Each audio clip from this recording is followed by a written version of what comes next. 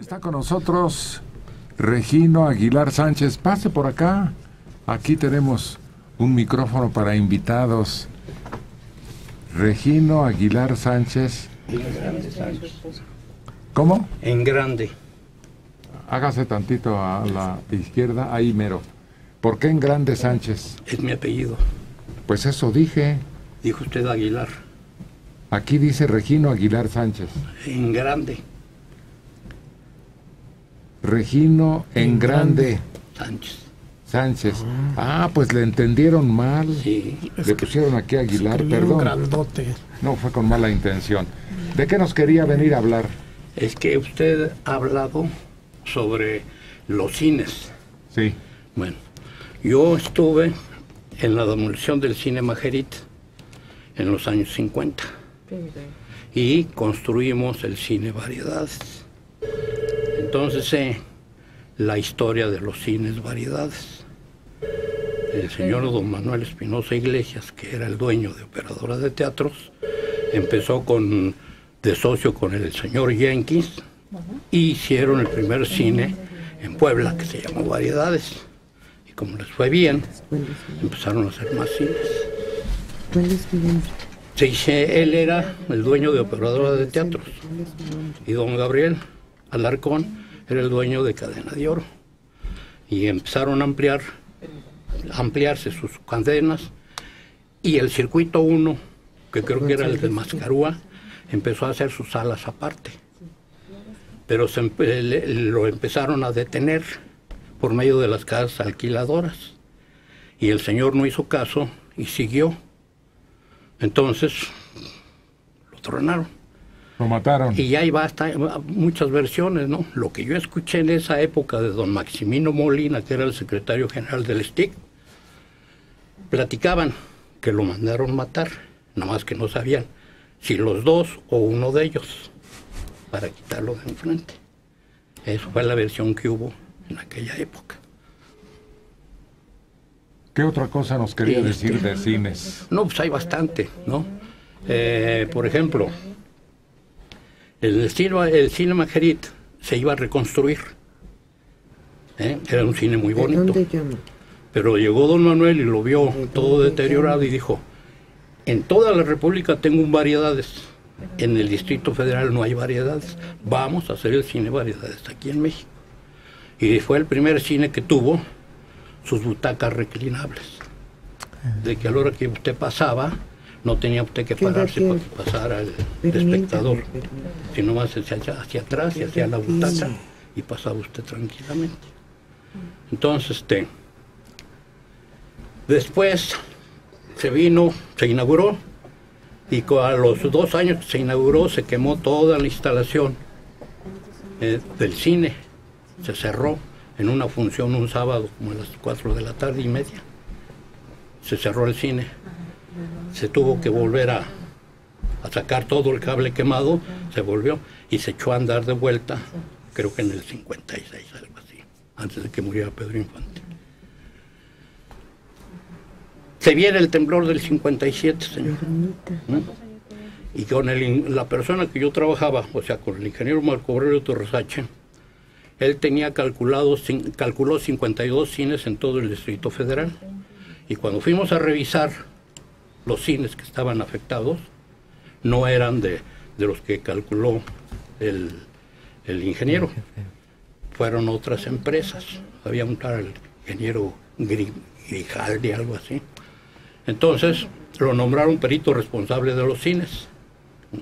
Y anduvimos checando todos los cines que estaban cerrados en las fisuras, poniendo testigos y la verdad y todo para ver.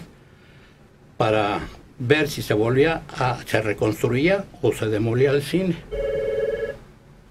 Yo estuve en la reconstrucción del cine Titán, en Doctor Arce, número 12. Cuando yo estuve en, el, este, en la reconstrucción de ese cine, usted habló hace poco, recordando de cuando mataron a Ramón Gay, el ingeniero Paganoni. Pues con la persona que yo trabajé, ese día me habla por teléfono a las ocho y media de la mañana y me dice, ¿ya viste los periódicos? Le digo, sí, que mataron a, al Ramón Gay por estar, porque estaba con doña Evangelina Elizondo. Dice, sí, dice, te me traes una este, mudanza y cuatro changos, pero inmediatamente. Se pues agarré ahí en el Mercado Hidalgo una mudanza y ahí voy. Teníamos las oficinas en Juan de la Barrera, por las rejas de Chapultepec. Llegamos, subí y me dice, mira, te vas a llevar esta caja fuerte. Me vas a poner un fulano, lo vas a meter al sótano, en la bodega. Me vas a poner un fulano con esta pistola.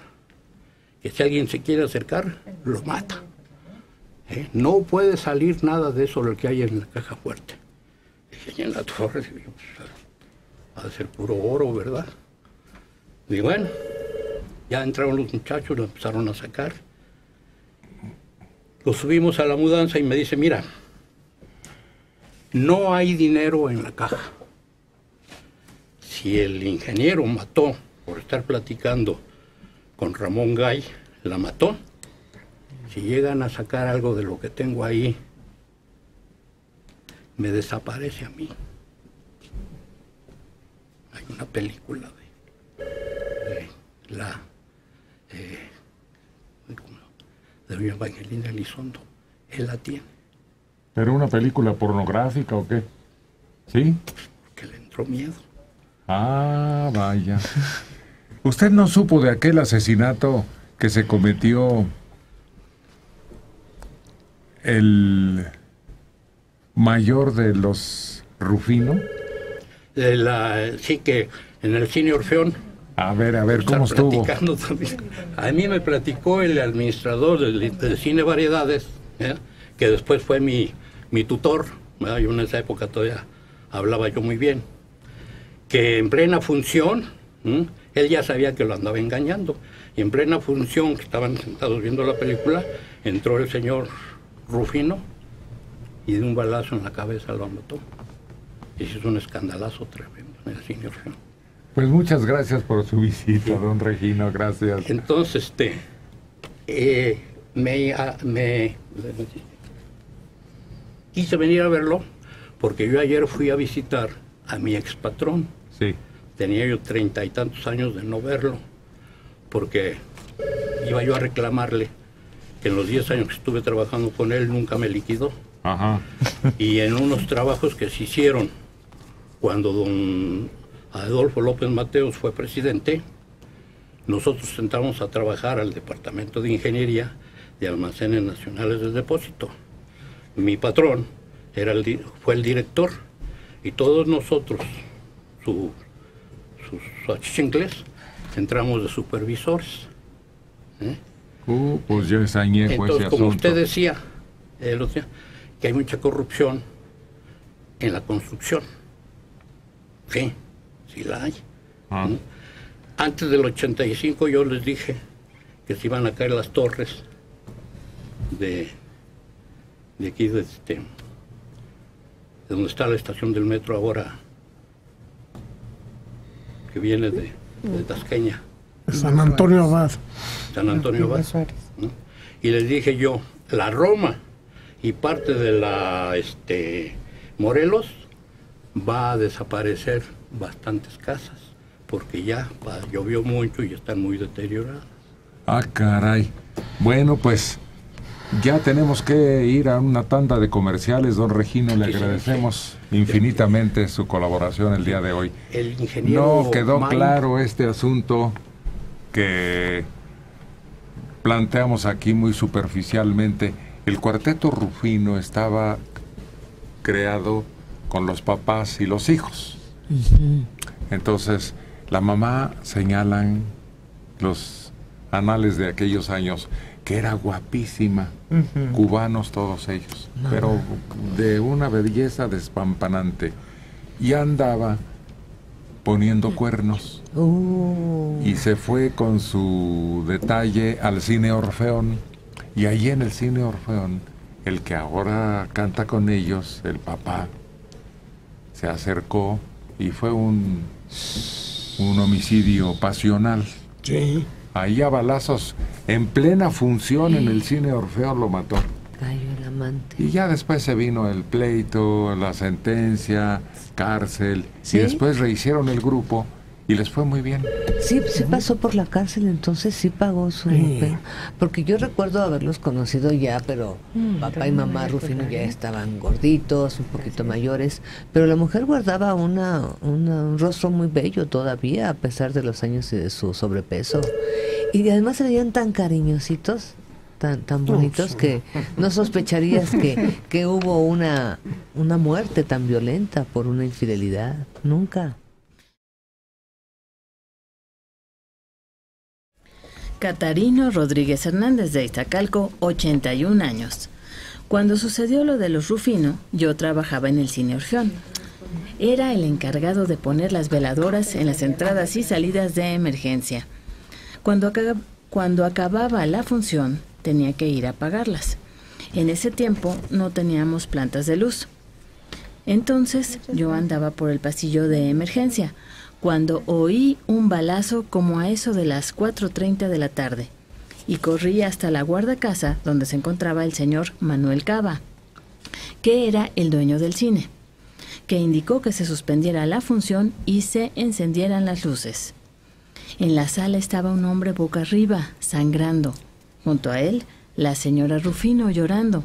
Y en el pasillo de emergencia, el señor Rufino con una pistola en la mano. El señor Rufino fue detenido después por la policía secreta. El hombre que murió era un novillero de nombre Joselillo, que trabajaba en una vinatería que estaba en Luis Moya y Ernesto Pujibet, de nombre La Crema. ¿En qué fecha? No, no me menciona la fecha. Uh, pues era lo que nos interesaba para saber y poder ubicar exactamente el hecho en qué años ocurriría.